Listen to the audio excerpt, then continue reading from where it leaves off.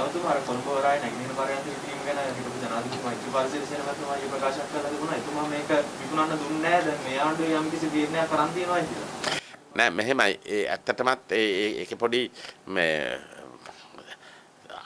සත්‍යකුත් තියෙනවා. මොකද එතුමා ජනාධිපතිවරයා හැටියට මේක මේ මේ ජපානයේ සහ ඉන්දියාවත් සමග මේ අය ගිවිසුම අත්සන් කරා. ඒක කරේ රනිල් වික්‍රමසිංහ මැතිතුමා. ඒක එක්සත් ජාතික පක්ෂය ඕනකම තමයි සිද්ධ වුණේ. හැබැයි ඒක ක්‍රියාත්මක කරගන්න බැරි වුණේ මම හිතන්නේ ජනාධිපතිතුමා ඒක මේ මේ ඒක ක්‍රියාත්මක කරන්න එතුමා මේ මේ ඉඩ දුන්නේ නැහැ. ඉතින් ඒ නිසා ඒ ගිවිසුම එහෙමම තියෙනවා.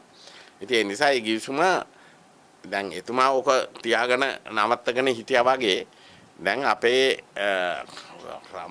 මේ රජයටත් ජනාධිපතිතුමාටත් අගමැතිතුමාටත් වරායමතුමාට මේක දිගට ඔහොම තියාගෙන ඉන්න බෑ. ඉතින් ඒක අපේ අපට වඩාත් වාසිදායක විදියට වරාය විකුණන්නේ නැතුව යම් යම් ගිවිසුම් වලට ඇවිල්ලා මේ මේ මේ මේ කටයුතු කරගන්න අපේ අය දක්ෂ වෙයි. ඒක ගැන බය වෙන්න එපා වරාය විකිනෙන්නේ නැහැ.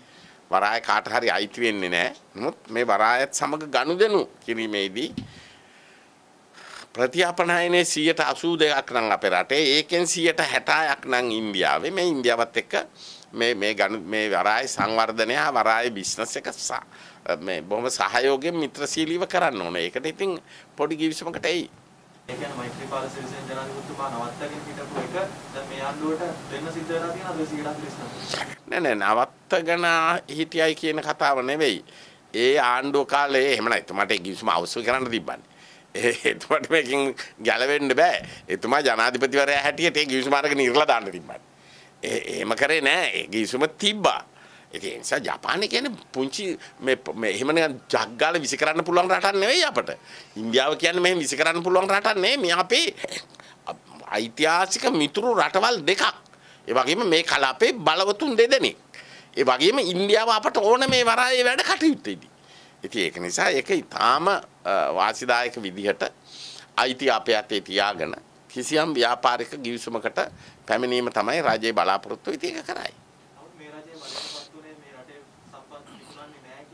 ඉතින් විකුණන්නේ නැහනේ.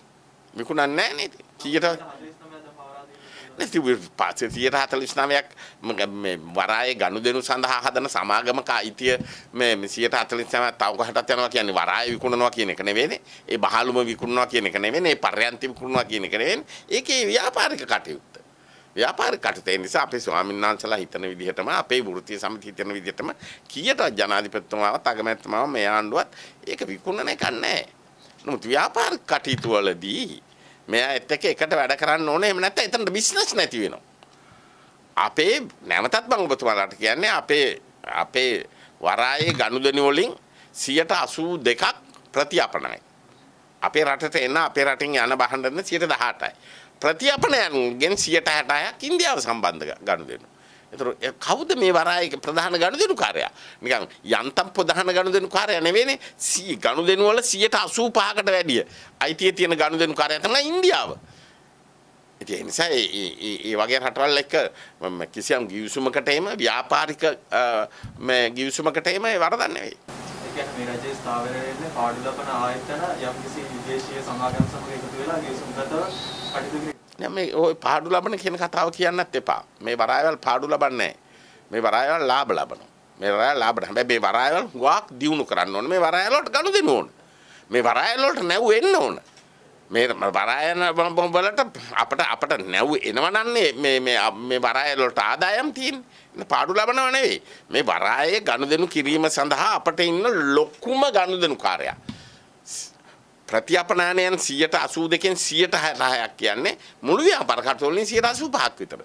එතකොට ඒ ගනුදෙනු කාර්යයත් එක්ක කිසියම් වෙළඳ කිවිසුමකට එහෙම ව්‍යාපාරික කිවිසුමකට එහෙම ඒක මේ මේ මේ වැරදි දෙයක් නෙවෙයි. මේ මේක විකුණන්නේ නැතුව. The News Reporter වාරණයෙන් තොර අපක්ෂපාතී වාර්තාකරණය